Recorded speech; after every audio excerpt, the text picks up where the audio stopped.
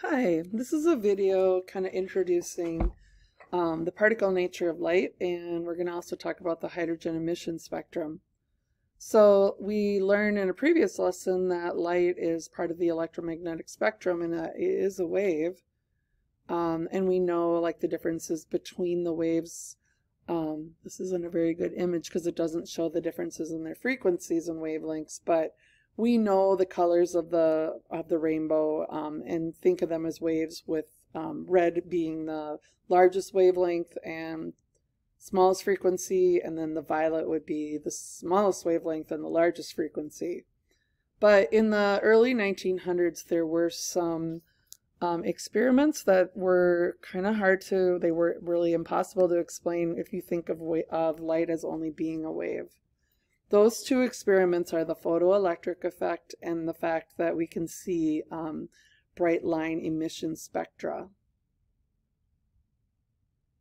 So all, um, not just visible light, but all um, electromagnetic radiation has this dual property. Um, so we can, depending on the way we're trying to understand and explain things, we can think of light as a wave or any electromagnetic uh, radiation like a radio wave or is it a radio um, made up of particles which we call photons? Which leads me to this. So the photon is when you're thinking of the electromagnetic wave as being made up of particles it is the particle. Um, it has um, it's weird because it's a particle but it has no mass. Um, and it carries a quantum or just a little piece of energy. And it can be different amounts of energy that quantum can be um, and we'll learn how we can calculate with that. So um, my drawing is kind of silly but this um, so kind of helps some people to understand it. The little smiling guy is our photon and then the photon can carry a certain amount of energy um, and that little bundle of energy is called a quantum. Whoops, can't spell. A quantum or a quanta of energy. So it talked about the two experiments that they were not able to explain using only the the wave mod wave theory of light, and one of them is the photoelectric effect. This is um, where if you shine light with a specific frequency, which means it then has a specific amount of energy, you can get the electrons of the metal you're shining the light on to become it to be emitted. So, um, but only certain colors of light will cause the electrons to essentially start flowing um, or moving out of the metal. Um, and what I'm trying to show you here is like if we thought of light as a wave, we would expect that every color would cause these electrons to get ejected from the metal.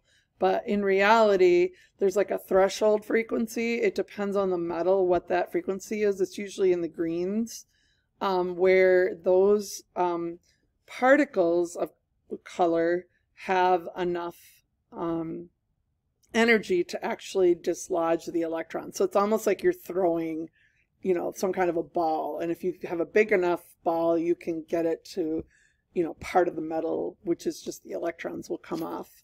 So these are representing the photons. So you can see like a photon of red is going to have less energy because it has a, and you don't know this equation yet, but the energy of a photon equals Planck's constant, which I'll show you later what that is, times the frequency. So the these are directly proportional. The frequency of the color, um, as that goes up, the energy of the photon goes up. So the blue photons here have more energy and therefore they're able to emit um, electrons. So if we thought of light as just being a wave, we would expect every color and wavelength to emit the electrons. Um, this is just a little bit more and also a different image. So photons, remember those are those particles of electromagnetic radiation. Some of them have enough energy and they can make those electrons eject. Um, the second experiment, there's actually at least one more, but these are the ones I'm going to cover. The second reason why we now know that light can behave, um, it, it is made up of particles and it's also a wave, but um, the bright line emission spectrum, um, if I look at light through a spectroscope or even, um, yeah, I'll leave it at that you know, when you see a rainbow um, or you see a drop of water in the light or, or, like a diamond, the light will kind of break apart, like white light will break apart into what we call a continuous spectrum, which is the bottom image down here. The continuous spectrum has all of the wavelengths of all the possible colors.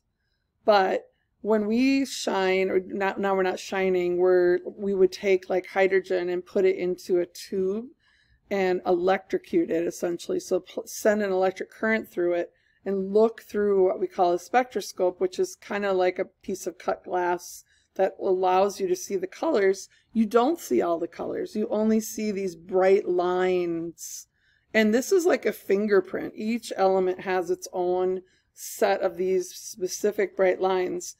Um, and this is um, also evidence that the light is made up of particles um, and it's being produced by the electrons in an atom. So I'm going to keep going with this. So the energy levels in an atom are quantized. So the electrons can only be, let me move it so you can see.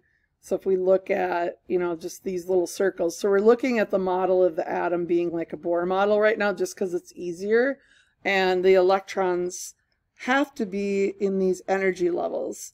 It's kind of like the rungs of a ladder. If you're climbing a ladder, you have to be on this rung or this rung. You can't just be suspended in between. So because of that, you know, an electron is moving from one energy level to another almost instantaneously. If we thought of light as just being a wave, then we would expect there to be every possibility of color produced um, and we would expect again to see the continuous spectrum. And I'll keep explaining this because I know it probably doesn't make total sense yet. So whenever, um, and I'm going to go over what an excited atom is, but it for a real element, these colors are representing the electron transitions of that particular element and the amount of energy that they're giving off. Um, and those are fixed amounts of energy, which is part of our um, quantum um, theory and quantum mechanical model eventually of the atom. But let's just go over a couple of these terms and then I'll show it to you another way and I'm going to draw it. So absorption and emission. So we, you know, an electron that's close to the positive nucleus, because remember it's attracted, um, this electron here is nice and close. But if I um, take a photon, which we're going to think of that as a particle of energy, but it corresponds to a certain frequency. So maybe this is a red photon. The electron absorbs that photon of energy. The dot is the electron. And then it will move to a higher energy level. So absorption is that absorption of the photon or the piece of, of energy causes the electron to move away from the nucleus. Whenever possible, then the electron is attracted to the nucleus, so it will return back, and it's really going to give back that photon. Um, but the photon, we can then see sometimes, not always, we can see the photon giving off a certain amount of color energy, so we can see a certain frequency of light this is what's going on um, with that emission spectrum. And I'm going to tie it back to that in a second. Also, just terminology-wise, ground state and excited state. So when the electron is as close as possible to the nucleus, we call that ground state. Sometimes people call that relaxed. Um, and then um, excited state is when the electron absorbs the photon. So here's another way of showing a photon. Uh, I'm going to um, show our photons with sizes. So like a red photon with a red kind of wave that's going to emit um, versus a violet photon is going to be more energetic with a higher frequency color that it's going to then emit. But excited is when that electron is away from the nucleus um, after it's undergone that absorption of the photon. So back to the hydrogen emission spectrum, and this is directly related to the POGIL that we do. The transitions are quantized, which tells us that the atoms' energy levels are quantized. Um, so we remember that if we number our levels, one, two, three, four, five, and then make another six, if the electron is moving from n equals 3 to 2, then that is um, going to give us that red color. And then if it's going from n equals 6 to 2, that's a bigger energy difference, then we'll get the violet. Um, and then we have the other two colors. Um, this would be n equals 5 to 2 and n equals 4 to 2. So I want you to be able to draw this um, on the exam and also on an assignment, a lab assignment, kind of an activity. So let's just show maybe two of these transitions that are going on. So I'm going to make this a little bigger. Let's say I have an electron sitting at um, n equals 2 and it's going to absorb a violet photon. So it's going to absorb a pretty energetic piece of electromagnetic radiation. That's going to then cause that electron to become excited. It's absorbing energy and it's going to end up out on a higher energy level. It's going to become excited. So this is the absorption process and it had to absorb the photon for it to move away from the nucleus.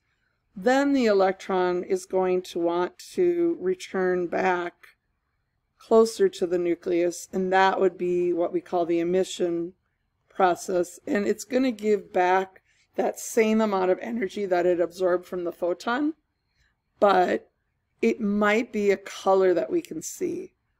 Um, so it might be and we'll draw it as a color wave. So notice my violet wave there has, I should get myself out of the way. Should I put myself down there maybe? Um, the violet wave has a high frequency, a smaller wavelength versus, let's do the same drawing for red. Um, so if I have another electron, it, and why you see all these colors is it's many different um, hydrogens which each have one electron so they can do these transitions a lot of them are doing the red transition. Now we're, you know, and a lot of them are doing the violet transition. So you're able to see those bright lines. But let me show you. So if I was that electron at, at n equals 2, or the second energy level, now we've got a red photon, so a little less energy, bigger wavelength.